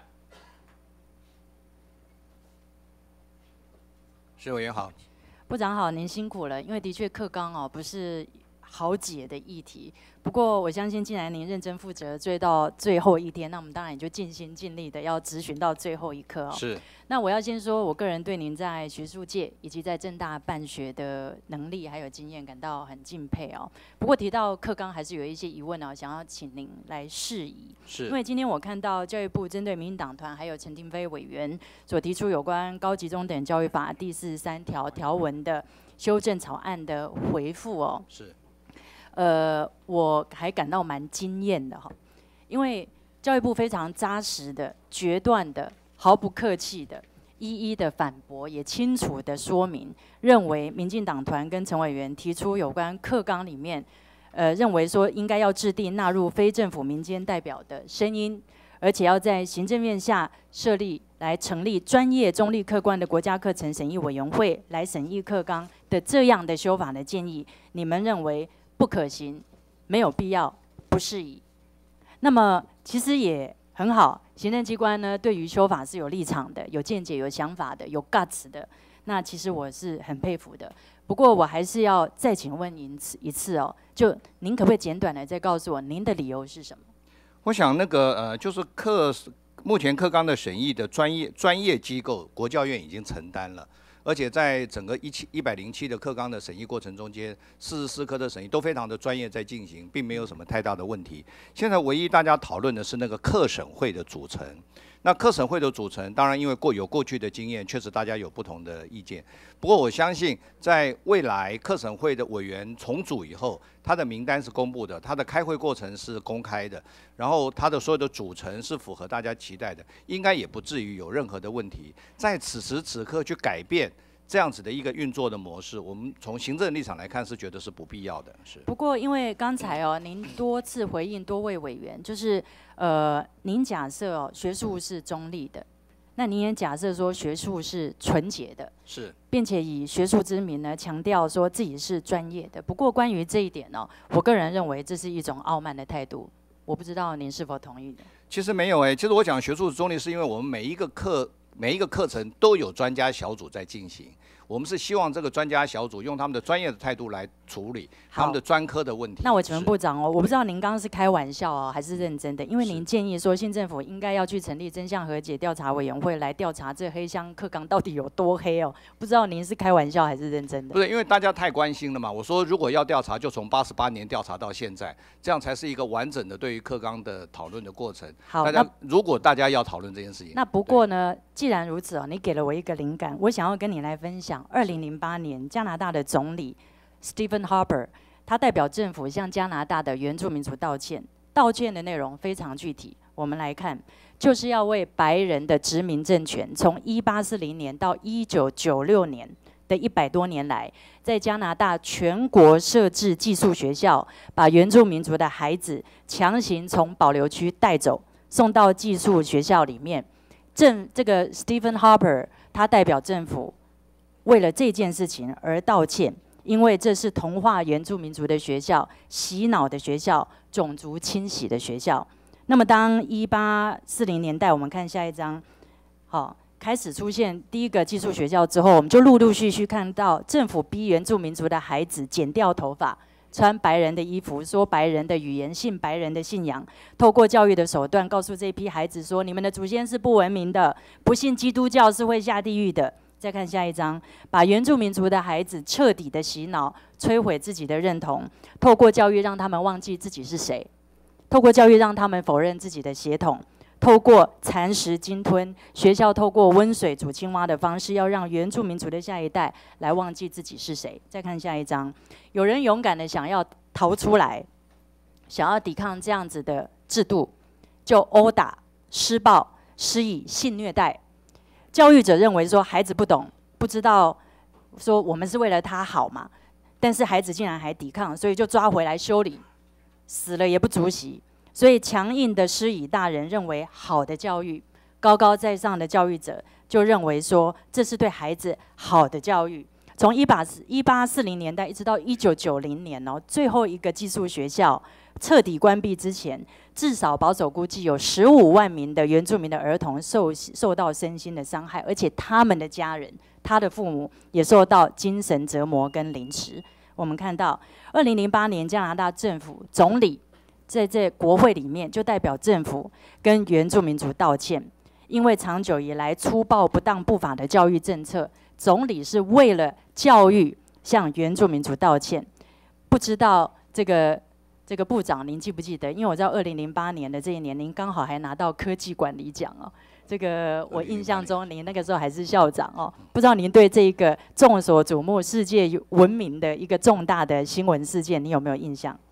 呃。抱歉，我那时候没有特别留意这件事情。是好，加拿大在总理道歉之后呢，成立真相与和解调查委员会，就是您刚刚所讲的这个委员会成立之后，陆续开始展开调查，陆续针对有关政府到底要如何跟原住民族和解，如何提出具体的建议。例如，在二零一四年，真相和解委员会就宣布，在加拿大的 Alberta 省。从幼稚园到十二年级的所有各级学校都要教导这一段的历史。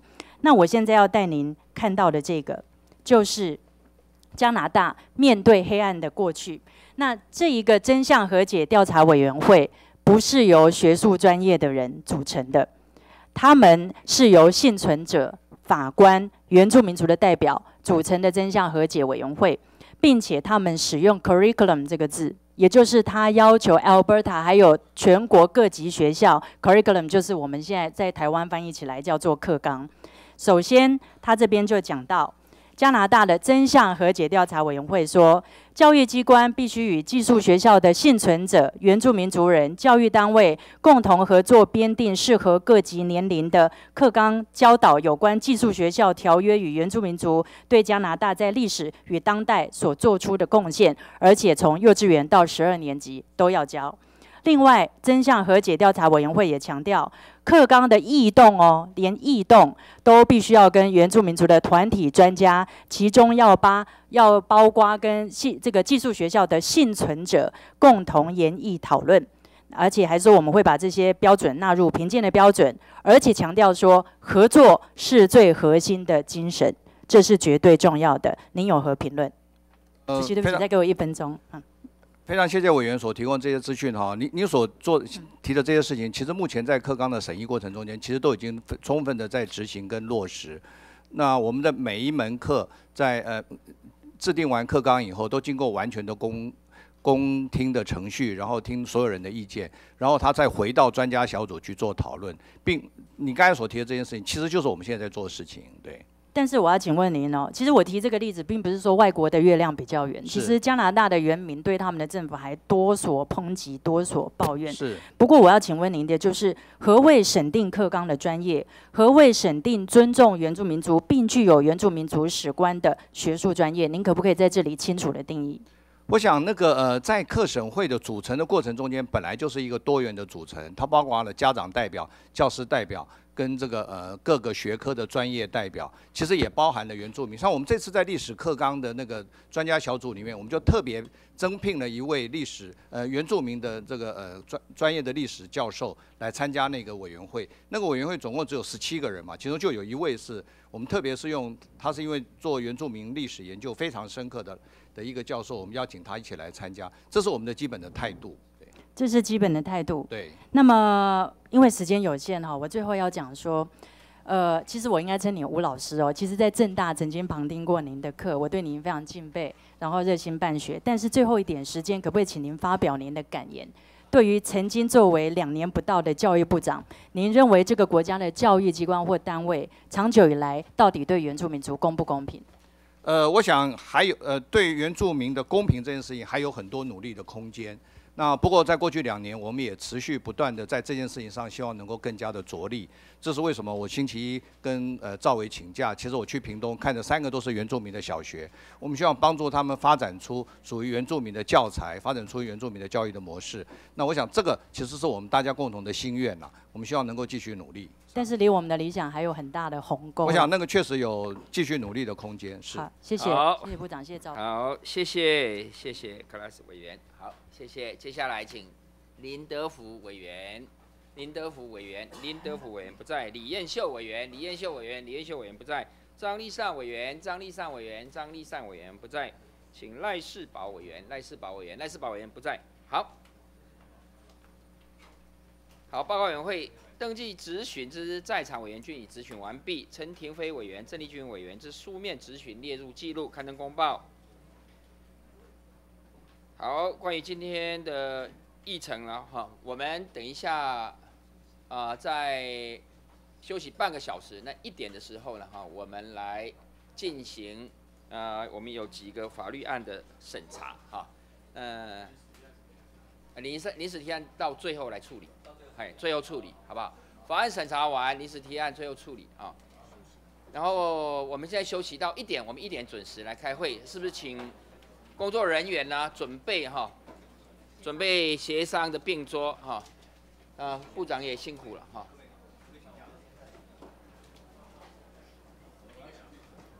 好，还是我可以的话再回来。好了，没关系啦。好，一点没关系。没有啦，没有一小时，一点了，半个小时休息半个小时，我们一点准时，啊，准时开会，好不好？如果部长如果下午不课参与这个。重要的审查法案的盛会，那至少次长好，好了，E I K 迄个啦，好在呢。好，我们先休息半个小时，一点，好，回来开会。